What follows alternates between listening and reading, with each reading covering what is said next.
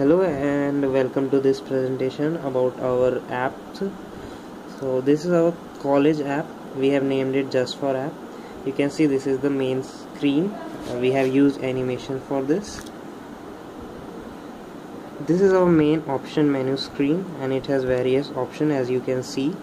Uh, this one this is the first option developer option. It gives detail about our, our team me and my partner. And uh, a special thank has been mentioned to star innovator team uh, which gave us this opportunity. Then this one here is a help button. This contains a very very brief description of our features of our app as you can see here. Uh, we have means limited our description to very short length so that user can learn themselves by using these now we'll be, we will move back to the main screen. Now these three are the games. We will check the first one. This one is guess the number. We play this. Uh, basically we get five chances to discuss our number. And then uh, computer will show our result. We give we get hints in between. This is a very very simple game. The second game of, of our app is tic-tac-toe uh, something that students always play when they are in class. Uh, this can be played in two modes one against uh, a mobile and one against some player. We move back. Uh, the third game is our rock paper scissors another very classic game. In this uh, we can play against the mobile only and we guess after the computer has guessed and the result is shown over here we get 5 chances. After that final result is uh, declared. We can use this button to reset the game. Now this is our main screen and now we will discuss the feature of these main applications. We will now start off with the discussion about this library due calculator. In this uh, we can add and remove the details of our book.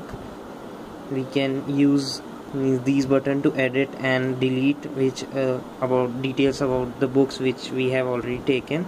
We can add uh, books by choosing this option. It's very simple.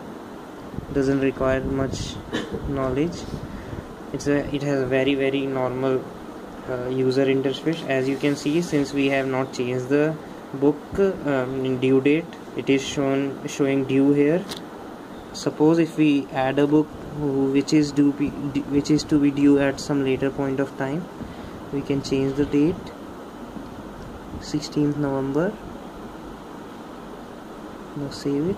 Now this uh, this text over here shows the number of days left before the due date. And we can always use this option to edit the book at some later point of time. Now we will discuss about this quick caller feature this is the main screen of the quick caller app. This is another very very simple uh, app feature. This essentially allows user to keep important academic co contacts at one place. We can use this simple button to add any contact to our list that we want. Suppose we add uh, my friend's name. If it's not then we can use this call button to just call as you can see it's very very useful especially when it comes to saving details of faculty or our class representative. We can delete this contact from here. As it as as it can be seen it's very easy. Now we will check the other features of our app. This one is scheduler. This essentially give, um, allows user to keep track of the quizzes or class tests and we can use this button to add the details and once we save it actually this also this app gives a notification at the required time. It is shown over here. Uh, we can add details schedule at later point also uh, by this. And this app uh, essentially at that time this uh, again a notification will be will come just like this we can delete uh, one scheduled uh, app activity like this. Now we will discuss some other features. Now this is a bunk meter which allows user to keep track of the classes that they have bunked. We can use this to add any subject. Let's say we added this. We set bunk limit here and the number of classes that we have already uh, bunked here. Then save it. Then just with this button we can add the bunk count and as, as it can be seen when we, the maximum bunk has been reached it shows red. We can delete using this button. There was also an option for edit there as well. So we'll move to our last feature. This one is GPA calculator another simple app. This has very very simple user interface.